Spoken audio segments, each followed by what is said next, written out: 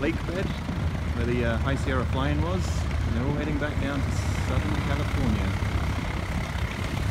New collection of aircraft. There's the Tri-Pacer.